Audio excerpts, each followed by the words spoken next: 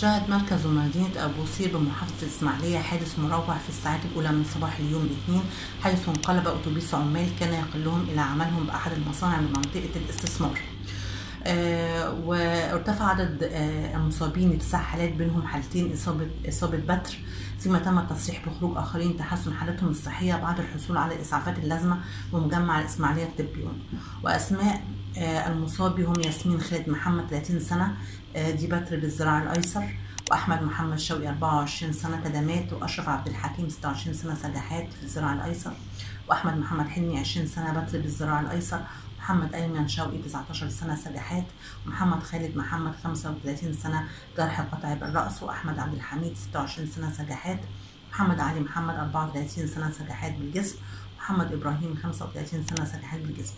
أصيب تسعة صباح اليوم الاثنين في انقلاب أتوبيس أثناء نقل العاملين لبعض الشركات بمحافظة الاسماعيليه ونقل سياره الإسعاف المصابين لمجمع الاسماعيليه الطبي لتلقي العلاج.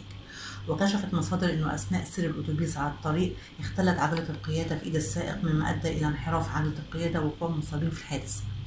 دفع الدكتور حسين كساب مدير مرفق الاسماعيليه بسبع سيارات إسعاف لمكان الحادث نقل المصابين للمركز للمجمع الطبي بالإسماعيلية. تلقي الإسعافات الأولية اللازمة للمصابين.